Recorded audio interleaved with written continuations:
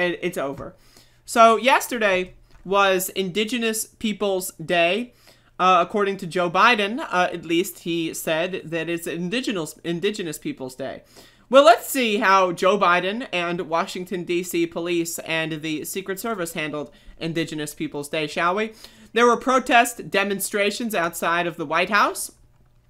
Large crowds of people collected and gathered to uh, basically demand that indigenous people are respected in this society that we live in, uh, demand an end to oil pipelines that are destroying and desecrating sacred land, and just all in all spreading awareness about indigenous people's struggles. Great stuff, right? Except actually, no, because they got brutalized and very violently arrested during this demonstration. It's not like, I don't know, maybe they were storming the White House. No, not at all. They were just saying indigenous lives matter. And this is how the United States Secret Service treats them. Can you believe this shit? This is the world that we fucking live in, where you can't even say, hey, my life actually matters, and it's kind of fucked up that you don't think it does. You can't say that without getting fucking brutally harassed and attacked. Anyway, I'm gonna listen to the audio here.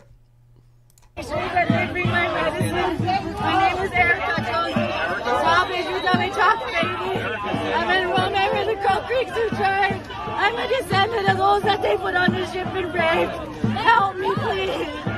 Help me. I love my children so much.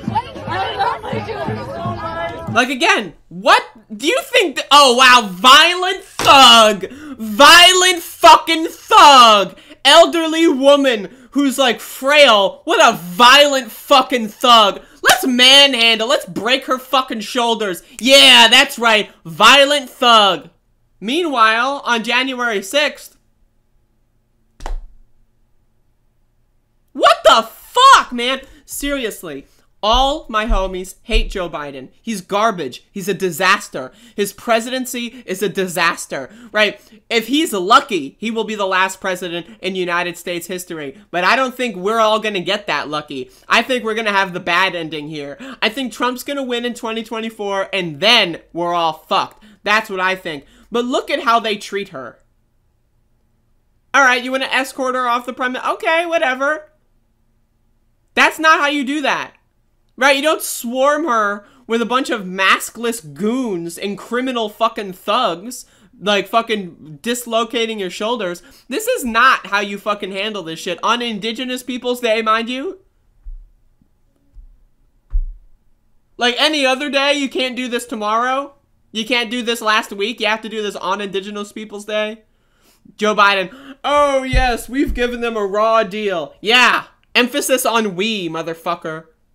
This shit is ridiculous, man. It's all fucking falling apart, folks. This country is over. It's done. It's gone. There is no United States of America. There never has been. It's just a bunch of genocidal, imperialist fucking morons that just want an excuse to kill us. Oh, it's the law. It's the law. The law said I'm allowed to kill people. It's one random general that said I'm allowed to kill people. Fuck you. Fuck your generals. Fuck your laws. Fuck Columbus. Fuck all that stupid ass bullshit. Like the fact that the United States government is still, in the year 2021, unable to even acknowledge the fact that they are brutalizing and destroying the lives of indigenous people to this very day, as of fucking yesterday, as of today, with these oil fucking pipelines. The fucking sheer fact and audacity that Joe Biden has to go, oh, it's Indigenous Peoples Day. Oh, look, look, look, it's oh, Columbus was a bad guy. Wow, that's the best he got?